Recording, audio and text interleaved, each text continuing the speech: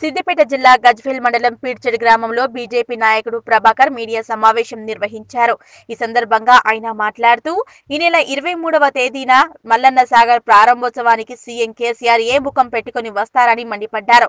కేసీఆర్ ముంపు గ్రామం బాధితులకు ఏం న్యాయం చేశారని ఇప్పుడు ఎందుకు ప్రారంభోత్సవానికి వస్తున్నారని ఆరోపించారు. గొడుగు దేవదాస్ ముద్రాజ్ తనకు వచ్చే ప్యాకేజీ రాలేదని మనస్తాపం చెంది ఆత్మహత్య చేసుకోవటం జరిగిందన్నారు. ముంపు గ్రామాల పరిహారం చెల్లించాకే ప్రారంభోత్సవానికి రావాలని డిమాండ్ చేశారు. ఈ కార్యక్రమంలో గ్రామ అధ్యక్షుడు భిన్నమైన Prabhakar Karunakar P Narasimhulu B Mahesh B Suresh D Balakrishna తదితరులు పాల్గొన్నారు. కట్టి వాళ్ళకు నష్టపరిహారం ఇవ్వకుండా వాళ్ళను ఇబ్బందుల పాలు చేసుకుంటా ఈరోజు ప్రారంభానికి ప్రారంభోత్సవానికి వస్తున్నారు కల్వకుంట్ల చంద్రశేఖరరావు గారు.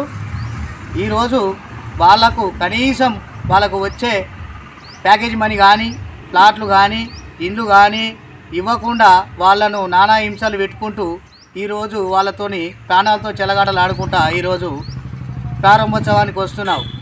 కల్లకుండా చంద్రశేఖరరావు గారు నిన్నగాక మొన్న గొడుగు దేవదాస్ అనే ముదిరాజు వ్యక్తి తనకిద్దరు పిల్లలు.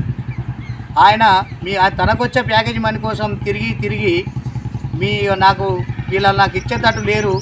ఈ ప్రభుత్వం నాకు న్యాయం చేయదని తను ఆత్మహత్య చేసుకోవడం జరిగింది. ఇది ఆత్మహత్య కాదు. ఇది నీ నీ నువ్వు దీనికి కారణం నువ్వు నీ ప్రభుత్వం మాత్రమే. బంజారుపల్లిలో కనీసం ఇళ్ళ స్థలాలు కేటాయిస్తున్న దాఖలాలు లేవు. ఈ ముంపు గ్రామాలను బాధ పెట్టుకుంటూ వాళ్ళ శివాల మీకెళ్ళి వెళుతూ నీకు ఎలా ప్రారంభోత్సవం చేయాలని అనిపిస్తుంది కేసీఆర్? ఏ ముఖం పెట్టుకొని వస్తున్నావు?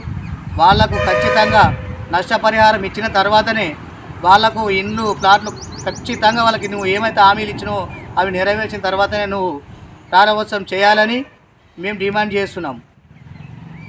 ఈరోజు పిడిచేడు గ్రామం నుంచి వెళ్తున్నావు. మా గజ్వల్ శాసనసభ్యులు మీరు. కొలుగురుకు దళిత మంది ఇస్తున్నావు.